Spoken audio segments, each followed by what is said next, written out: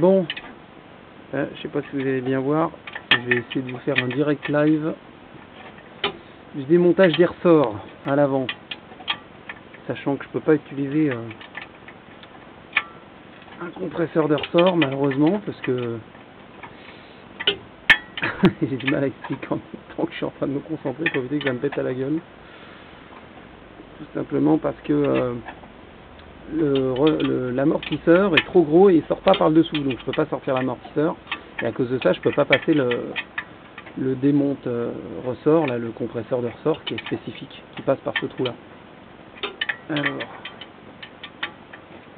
maintenant je vais plus rien dire je vais vous laisser regarder et en même temps je vais regarder ce que je fais.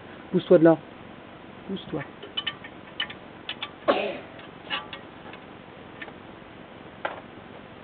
Pousse-toi. Mon gamin là, il est juste à côté, il a tirer aussi. Pourquoi? Parce que ça va faire boum.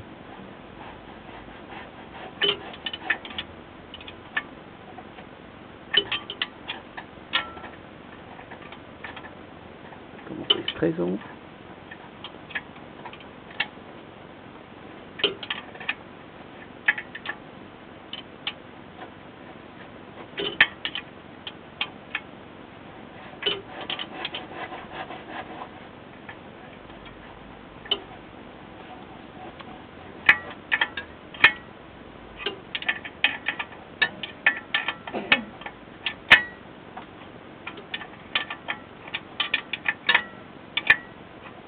jusqu'au bout qui va me, me faire chier ce boulon là.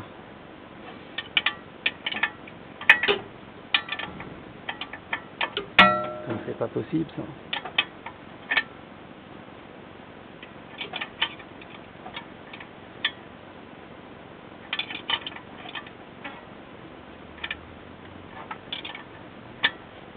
Je crois que je ferai un coup, je ferai un montage hein, parce que là, ça pour 3 heures.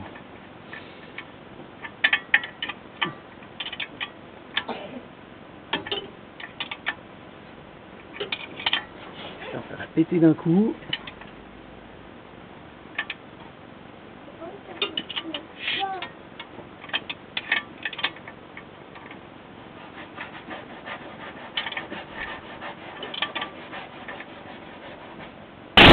Oh putain Même si tu tiens dedans, il rien à faire, tu fais un de ces bons. Enculé. Oh la vache. Ah, c'est vraiment dangereux ces putains de trucs. Hein. Et encore, euh, je vais essayer de vous éclairer un peu mieux. Mais vous voyez là, il y a quand même euh, quelque chose qui le retient. Il y a le compresseur de ressort spécifique pour ces voitures là, qui normalement passe en dessous. Comme là je pouvais pas le passer en dessous, bah, j'ai quand même euh, réussi à l'utiliser sur le côté pour éviter que le ressort se déploie complètement.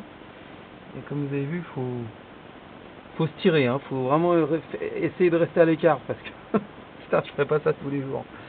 Nom de Dieu. Bon, c'est parfait. Maintenant, bah, il n'y a plus qu'à installer l'autre puis faire la même chose que ce que j'ai déjà fait de l'autre côté. À plus tard, les copains.